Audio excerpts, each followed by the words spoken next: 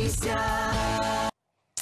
Okey, kembali bersama kami dalam Selamat Pagi Malaysia. Um, tadi satu bingkisan uh, bingkisan aja di bingkisan yang uh, agak panjang sebenarnya ialah hmm. di Kuala Kerai Kelantan. Ya. Tapi itulah dia um, antara uh, ya kita sebut sebagai laporan yang sangat terperinci juga dibawakan bagaimana usaha kerajaan termasuklah Kementerian Kesihatan Malaysia hmm. yang bagaikan berkampung dekat sana nak yeah. mencari punca hmm. dan akhirnya punca kita dah tahu dan kita harapkan adalah tindakan-tindakan susulan supaya ia tidak merebak dan mengorbankan lebih ramai nyawa lagi. Lah. Betul, sama-sama kita doakan yang terbaik insya-Allah. Baik, dan untuk okay. ini kita bawakan fal syariah dan hari ini membawa seorang tetamu mm-hmm. ah iaitu uh, juga merupakan seorang peguam syar'i mm-hmm. iaitu peraihan Mustafa Kamal Kamal untuk membawakan topik uh, tentang mutaah. Mm-hmm. Uh, mutaah ni dia kalau secara amnya kita boleh tahu bahawasanya sagu hati kepada seorang isteri ataupun bekas isteri yang dipisahkan ataupun diceraikan atas macam sebab-sebab yang macam tak, isteri pun tak faham sebenarnya. Betul macam tu lebih kurang macam itulah.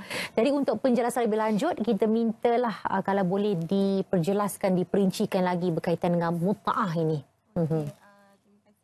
Assalamualaikum warahmatullahi wabarakatuh. Waalaikumsalam. Selamat pagi. Ya. Selamat raya. Selamat raya. Okey, uh, pertamanya kita kena faham eh mutaah ni apa? Okey, hmm. mutaah ni uh, kita boleh kata sagu hati uh-huh. daripada bekas suami kepada is- bekas isteri hmm. disebabkan perceraian. Hmm. Okey. Dia ada banyak faktor yang maksudnya uh, yang membolehkan perempuan tu boleh menerima nilah hmm. uh, mutaah ni. Hmm. Jadi um, tapi secara generalnya kita boleh kata semua penceraian hmm. yang tidak adil kepada perempuan hmm. boleh uh, perempuan tersebut mendapatkan hak mutaah. Oh, hmm. perceraian yang tidak adil kepada yang perempuan. Tidak adil. Yes. Maksudnya kalau perempuan yang minta cerai hmm. atau tebus talak ke hmm. sebagainya mereka tak boleh. Tak ada macam ni. Ha. Kita kena faham sebab bila sebab uh, ada juga isu benda tu bila ha. uh, sebab kebanyakan perceraian kat mahkamah tak semestinya lelaki yang falkan. Hmm. Ya? Kadang-kadang hmm. perempuan hmm. yang falkan. Yeah. Hmm. Tapi bila perempuan falkan kat mahkamah tapi dia menggunakan peruntukan maksudnya untuk memohon suami dia untuk melafazkan talak dekat mahkamah. Hmm. Walaupun perempuan yang lafaz eh, perempuan yang falkan tapi at the end adanya penceraian, uh-huh. uh, perempuan tersebut masih lagi boleh menerima hak uh, mutaah sebab memang hak mutaah memang hak penceraian. Okay. Uh, memang hak yang akan wujud selepas wujudnya perceraian. Betul. Tadi sebut ke bentuk ketidakadilan tu. Uh-huh. Apa sebenarnya antara uh, isu-isu ataupun perkara-perkara faktor-faktor yang membuatkan seseorang tu boleh diceraikan tanpa sebab ni? Uh, boleh diceraikan tanpa sebab faktor-faktor. Jadi macam ni, sebab kita kena tahu bahawa uh, talak tu kuasa dia kat tangan lelaki. Okey. Kadang-kadang tak ada valid reason pun uh, talak tu memang di tangan lelaki. Hmm. Jadi kadang-kadang kita nak kata apa faktor yang membolehkan talak ke tak apa. Ada yang spesifik ya. Tak ada yang spesifik sebab talak tu memang di tangan lelaki. Hmm. Tapi bila seorang perempuan tu filekan kes di mahkamah, kadang-kadang ada faktor-faktor yang kenapa uh, si isteri tu nak meminta cerai tu. Contohnya hmm. macam tak ada persefahaman dalam hmm. rumah tangga. So hmm. perkara-perkara tersebut yang dipohon oleh isteri di mahkamah supaya hmm. suami itu dilafaz uh, lafazkan talak lah dekat hmm. mahkamah. Hmm. Uh, macam tu. Dia tak adalah macam specific reason sebab talak tu memang kat tangan lelaki. Hmm. Tapi bila perempuan filekan ada alasan-alasan kenapa hmm. uh, macam saya ceritakan tadilah hmm. uh, macam tu. Baik, kalau kita tengok kes-kes mutaah, hmm. uh, saya dah baca juga. Saya tak tahu uh, itu antaranya terbesar atau tidak. Tuntutan 30 juta, juta. ringgit bagi kes mutaah yes. di Malaysia. Itu, itu betul lah, itu yang paling Betul, itu yang paling latest paling dan paling highest lah. lah yang hmm. tu yang paling tinggi dan paling uh, yang adalah sekarang yang berpegang 30 juta tu yang paling okay, tinggi ini lah. Dia, ini, ah, dia. ini dia. 30 juta. Hmm. Okey, jadi bila sebut 30 juta, sejauh mana um, cara perkiraan, uh, eh? perkiraan ha. kepada nilai oh, tak tahu juga sendiri. ni. Okay, dia macam ni. Kadang-kadang bila kita tengok ada setengah uh, kes-kes tu ada 30 juta, 100 hmm. ribu lah apa kan. Hmm. Uh, dia bila mahkamah syariah, dia hmm. bukan maksudnya kalau satu kes tu 30 juta, seseorang tu nak filekan kes tu kat mahkamah pun 30 juta. Mahkamah dia uh, dia akan melihat kepada fakta-fakta kes yang tertentu. Kiranya hmm. dia tak akan mengikat lah. Maksudnya uh, apa contoh yang 30 juta tadi tu dia tak akan mengikat pada kes yang lain. Dia akan mengikut hmm. Ha.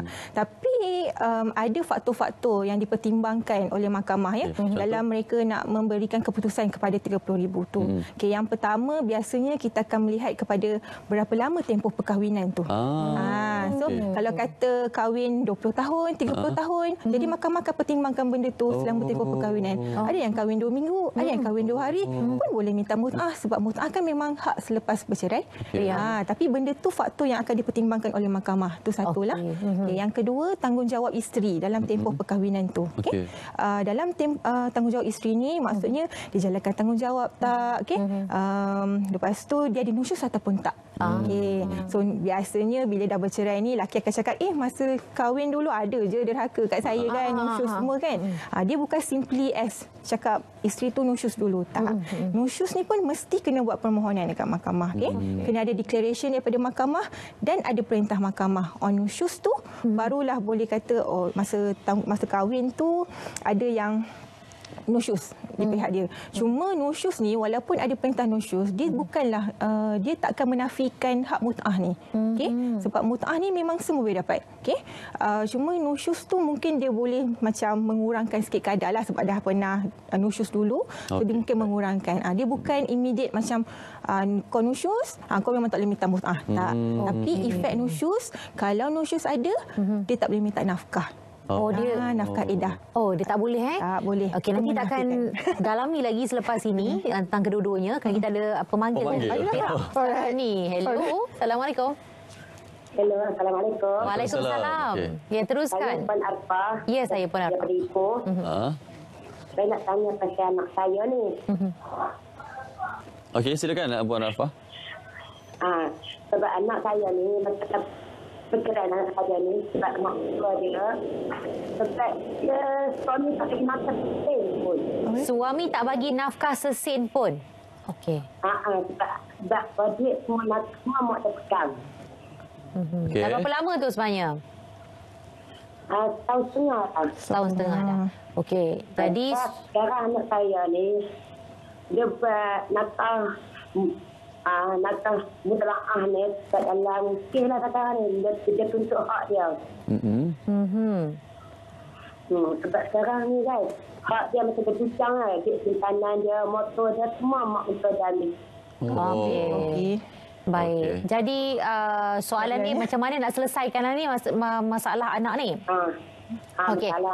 Okey, baik-baik. Puan Arfa okay. dengar okay. eh, penyelesaian okay. yang boleh diberikan. Okey. Uh, Okey, okay. terima kasih Puan Arfa. Eh. Mm-hmm. Okey, kalau ni saya secara general lah apa yang dinyatakan. Eh. Mm-hmm. Okey, selalunya selepas bercerai, okay, um, dia ada hak-hak dia. Eh. Mm-hmm. Uh, nafkah edah, kalau ada nafkah tertunggak waktu perkahwinan, kalau ada hutang perkahwinan dan tempoh perkahwinan dan juga yang uh, harta secarian. Mm-hmm. Okey, saya rasa mungkin yang dia ambil tadi tu mungkin di, untuk kata harta secarian ke apa. Mm-hmm. Tapi sebelum apa-apa dia nak ambil ke apa, sepatutnya kena ada court declaration lah. Mm-hmm. Okay, kena ada pem, uh, permohonan di mahkamah untuk tentukan uh, kereta tu siapa punya, harta tu siapa punya. Okay? Mm-hmm. Yang itu satulah untuk uh, untuk tuntutan harta secarian dan lain-lain. Mm-hmm. Tapi yang untuk mut'ah uh, pun boleh untuk filekan juga di mahkamah.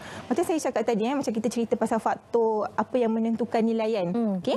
Uh, sebab tu bila kita nak filekan kes ke mahkamah, kita akan advise ataupun uh, perempuan tersebut, uh, isteri ni pergi, kena tahulah dia minta berapa. Okay? Mm-hmm. Sebab bila dekat mahkamah syariah ni, dia ada bidang kuasa. Okay? Mahkamah rendah bawah RM100,000 dan mm-hmm. mahkamah tinggi lebih daripada RM100,000. Mm-hmm. Okay? Uh, so kalau lebih macam 30 juta ke, kan? lebih daripada RM100,000 biasanya di mahkamah tinggi. Mm-hmm. Tapi macam perkeliling di uh, di Selangor, uh, RM300,000 dekat mahkamah rendah lah. Okay? Mm-hmm. Dan mahkamah tinggi RM300 ke atas. Kalau lebih daripada tu, minta tuntut tu di mahkamah tinggi. Okay? Mm-hmm. Itu sebab tu kena tahu kat berapa amount sebenarnya kita nak minta untuk mutah yeah. tu. Mm-hmm. Tapi berdasarkan faktor tadi tadi lah. Ha, tu baru dua lah tadi faktor tadi tu. Yeah. So maksudnya kalau uh, Puan Arfa anak dia nak minta mut'ah ni, so kena make sure lah berapa banyak dia minta sebenarnya. Mm-hmm. Okay. Memang ada isu macam dia kata suami tak pernah bagi nafkah sesen pun, tak uh, apa Yalah, tak pernah bagi duit. So, mm-hmm. kalau kita filekan pun, bukannya dia, dap, uh, dia boleh nak bagi. Selalunya mm-hmm. macam inilah mm-hmm. antara dilema mm-hmm. bekal-bekal isteri ni bila nak filekan kat mahkamah. Kita kena ingat satu. Uh, hak mut'ah ni adalah hak bekas isteri. Hmm. Kalau dia nak wave, ikut dia lah. Hmm. Okay? Tapi tu hak dia. Ada reason kenapa Allah benarkan yang Allah suruh, bukanlah suruh, macam Allah kata kalau bercerai, mesti bagi mut'ah. Ada sebab. Okay? Kadang-kadang bila dekat mahkamah, eh, kadang-kadang bila kita tengok ada kes, dia, dia nak cerai je, dia tak kisah. Kadang hakim akan tanya, ada tak persetujuan mut'ah apa semua? Oh tak nak, saya tak nak minta mut'ah. Saya nak lepas je, saya tahu dia takkan bayar. Hmm. Okay? Tapi hakim akan tanya, kamu faham tak mut'ah tu apa? Okay? So the reason is, bab mut'ah ni satu adalah satu sagu hati kepada isteri sebab kalau kata dah pernah bersama sebelum ni takkan bagi free macam tu je hmm. betul tak lepas dah bercerai itu satu hmm. kalau tak ada consummation pun maksudnya tak ada bersama pun maksudnya tu sebagai dah kahwin nak pulangkan cara baik pun pun ada dia punya kiraan dia dekat situ. Hmm. Ah, faham tak? Adalah sebenarnya ada. beberapa perkara yang perlu diperincikan. Ah. Okay. Baik, sebelum kita teruskan lagi. lagi. Okay. Cik Hamzah dari okay. Selangor. Hello. Assalamualaikum. Hello. Assalamualaikum. Oh, Assalamualaikum. Teruskan, Cik Hamzah. Uh, ini saya kan ni bercerai dah lima tahun lah. Bercerai patah lah. Okey. Okey. Hmm, jadi sekarang masalah dia mahkamah dalam mahkamah mahkamah masalah. Kurang jelas Cik Hamzah?